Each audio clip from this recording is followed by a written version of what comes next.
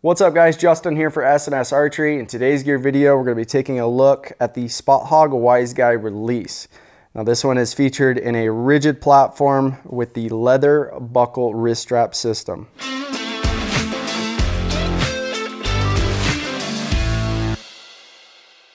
All right guys, so not only does Spot Hogg create fantastic bow sights, but they do a really good job at building releases. Uh, I personally have been running the Wise Guy now for a couple seasons. Uh, I kind of switched over from a Scott release, something I shot my entire life. Um, but here at S&S Archery, I had the ability to test a bunch of gear, and this is one of the releases that I've switched to, and now I shoot full time.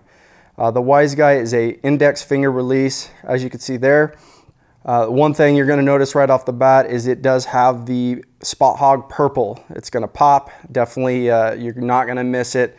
Uh, this is kind of the color that Spot Hogg has been known for over all the years. Uh, like I said, index finger release. This does feature an open style jaw. Uh, for me, this was kind of a big transition. I always used a closed system, um, but after loading it onto my bowstring uh, and just seeing how easy it is to uh, mount up and how fast it is, uh, made me a, a believer in this release. Uh, I also found a lot less torque on my bowstring, just depending on how I was positioning my wrist. I really didn't find a whole bunch of torque issues within this release. As far as the trigger, you're gonna see here has a slight curve. Uh, I do like the curve in the trigger. It fits my, my index finger perfect. After the shot's made, to reset this release, very simple. As long as this jaw is in a down position, you're just gonna push back on the trigger itself and it's gonna be locked in position. Uh, as far as your adjustment on the trigger itself, out of the package it seemed to be perfect for my setup, uh, but if you want to adjust that trigger uh, tension, there's a screw right behind the trigger, so you can loosen or tighten to increase or decrease that tension of the, of the actual shot going off. Like I said, this is the rigid version, so there's no flex. It's going to be basically, you know, solid. Uh, you do have an adjustment here to lengthen or, or shorten up. Just have this simple screw and all these individual notches. This is going to slide in and out so you can set that desired length. As far as the strap system, this, is, this features a leather strap uh, with the buckle. Uh, on the inside here, this is all foam, so it's very comfortable on your wrist as well. Uh, honestly, I'd say the, the benefit of the buckle system is definitely you're going to be more consistent uh, with your anchor point each time.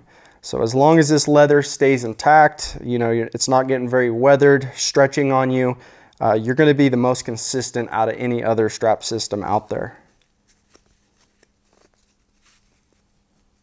After using the release for a couple seasons, probably my favorite thing about it is how you can flip back the release uh, and it completely sits out of your way. So if you're drinking coffee in the morning, uh, you're in a hunting situation where you got to be super quiet. That release isn't clinking, isn't tapping on any metal.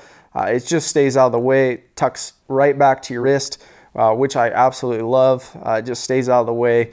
Uh, it makes it super fast to flip it back uh, and you're ready to shoot. So just an awesome feature. the one thing I will note about this release is you can switch it from right-handed to left-handed. You have an Allen screw here on the inside. You're just going to take that loose. The actual head itself will flip over, remount, and now it's set up for left-handed. So that way your buckle system, everything remains the same. The only thing that's different is the actual head itself. Honestly, it's been my favorite release now for a couple years. I absolutely love it. I actually got my hunting partner to switch over. Uh, just how smooth it is, uh, how comfortable this release is, and all the adjustments makes it uh, one of our favorites.